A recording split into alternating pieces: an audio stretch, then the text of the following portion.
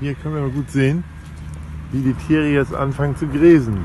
Obwohl sie im Stallbereich satt Heulage noch haben, gehen sie raus. Und das ist in den letzten Jahren so, so zu beobachten, so im Februar, ja, Ende Februar, fangen sie auf mal an und gehen raus.